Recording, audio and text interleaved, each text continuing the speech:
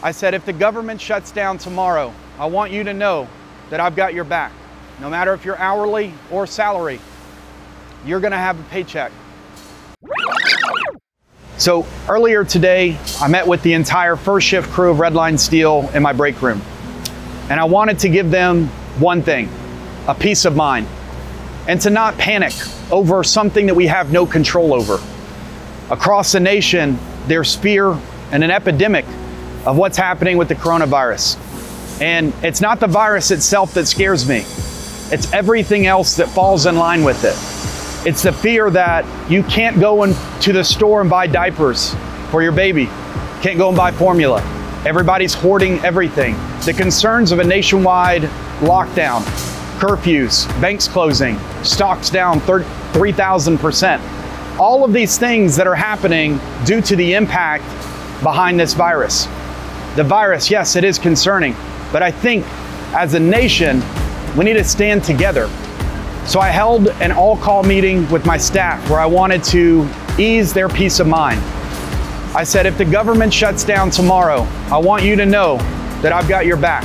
No matter if you're hourly or salary, you're gonna have a paycheck.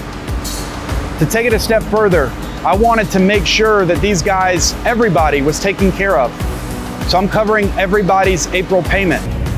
In addition to that, uh, to help everyone out, I am going to be covering um, everybody's April house payment or your um, apartment.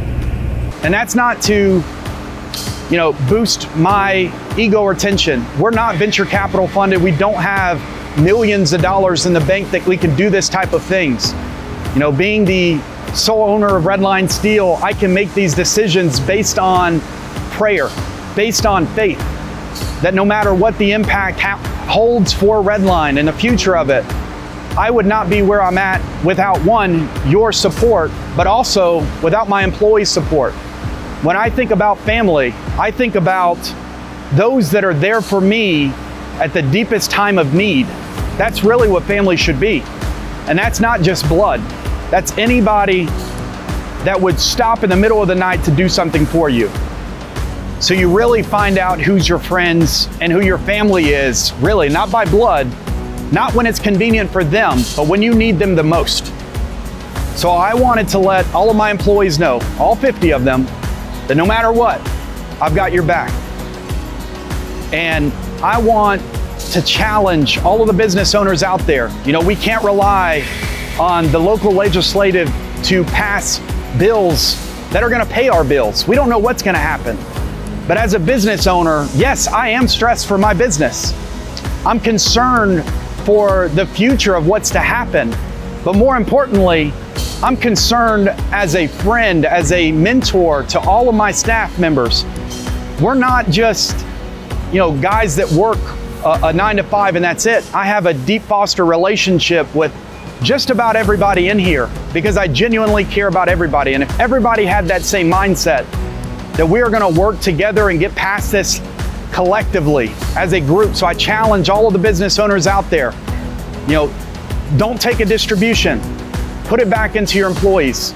Uh, put yourself in their shoes. Imagine where they would be if tomorrow we were on a government lockdown and you're hourly and you did not know where your next paycheck was going to come from. Put yourself in a different scenario and now reverse the script. Who's there for you? And do you have somebody else's back?